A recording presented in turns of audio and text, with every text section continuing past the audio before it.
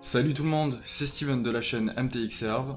Aujourd'hui on va chercher à savoir comment devenir super admin sur son serveur Garry's Mod grâce à ULX et Ulib qui sont essentiels pour pouvoir gérer et administrer son serveur hyper facilement.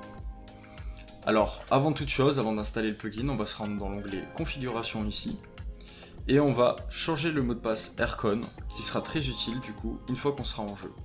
Vous mettez ce que vous voulez, moi je vais mettre MTXR. Faites attention à ne pas mettre quelque chose de trop simple parce que quelqu'un pourrait le trouver et se connecter en Aircon lui aussi. Une fois que c'est fait, on va se rendre dans Plugin. On va chercher dans la partie Add-ons ULX et Ulib. et on va cliquer sur Installer. Rien de plus simple.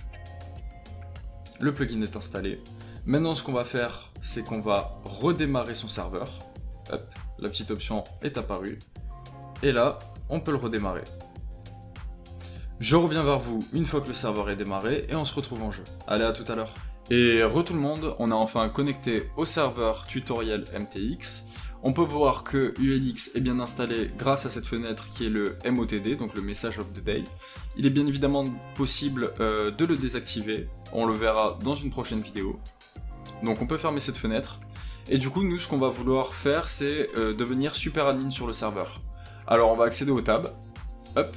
Donc euh, là, ça c'est moi, STVN. On copie le Steam ID. Et du coup, en fait, on va se connecter en Aircon. Donc on va faire Aircon password avec le mot de passe qu'on a prédéfini tout à l'heure pour le Aircon. Si vous n'avez pas de message, vous en faites pas, c'est normal, ça veut dire que vous êtes quand même connecté. C'est justement si vous avez un message que le mot de passe Aircon n'est pas bon.